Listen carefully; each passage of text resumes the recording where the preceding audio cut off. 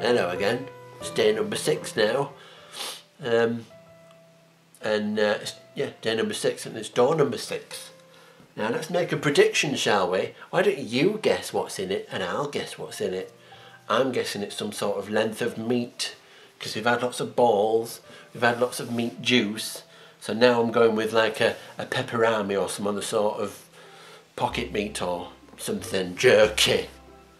Some, some, some, hopefully something nicer than what we've had so far. Quite disappointing so far, if I'm being honest with you, ladies and gentlemen.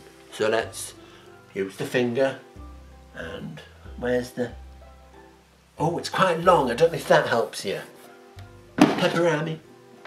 Pepperami. Oh, in the second time. Getting better. Practice makes... Uh, oh.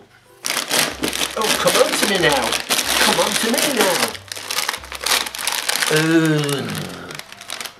bruschetta from the Italian countries, probably.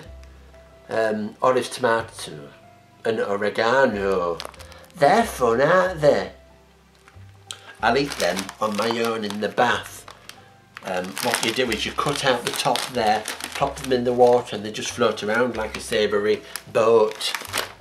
I love to eat them. I'll pop them back in for now. Um, but that's going to be nice and fun for me to have later in one of the liquid times.